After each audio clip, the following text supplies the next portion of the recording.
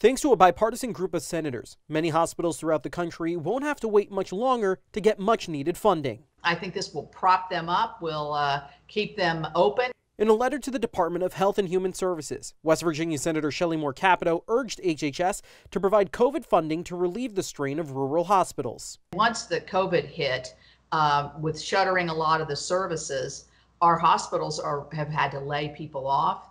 They've had to cut back on the services. HHS agreed and will speed distribution of $25 billion to these hospitals, which serve largely Medicaid and low income patients, a population which Virginia Senator Mark Warner believes needs more attention. Shifting the balance so that we focus on the Medicaid populations as well, poorer Americans, young and old, is a smarter formula and um, one that I support.